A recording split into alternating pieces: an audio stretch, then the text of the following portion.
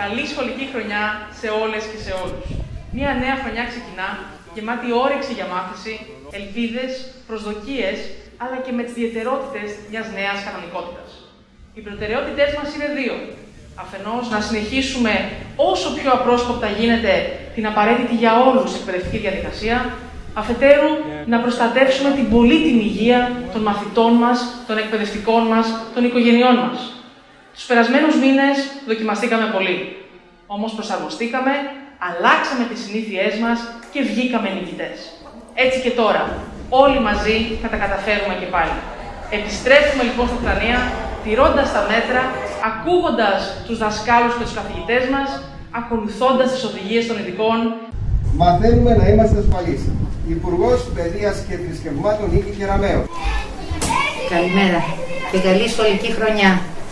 Θα με επιτρέψετε να βγάλω τη μάσκα για να ακούγομαι.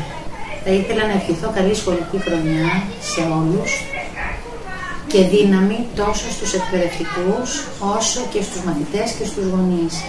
Θα είναι μια διαφορετική χρονιά με μεγαλύτερο βαθμό δυσκολίας γιατί θα έχουμε πολύ περισσότερα μέτρα ε, καθαριότητας αντισηψίας στα σχολεία και την υποχρεωτικότητα της μάσκας.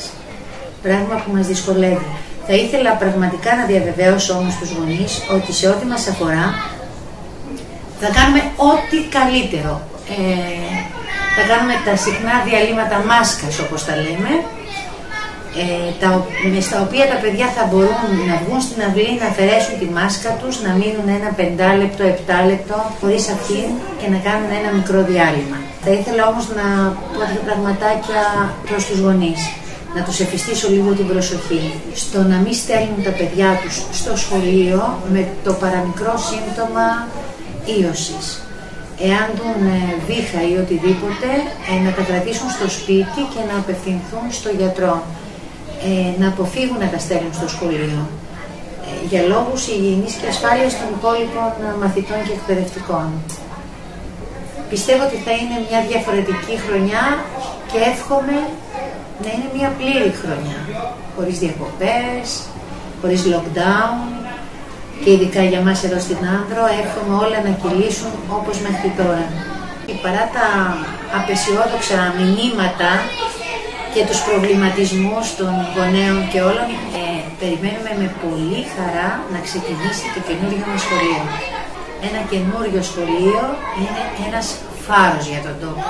Πραγματικά έτσι το περιμένουμε με πολύ αγάπη, με πολύ χαρά και ευχαριστούμε πολύ τόσο τον Δήμαρχο όσο και την τεχνική υπηρεσία, τον κύριο Γιάννουλη Καμπάνη και όλους όσους συνέβαλαν όλα αυτά τα χρόνια και θα συμβάλλουν στο να ολοκληρωθεί αυτό το έργο.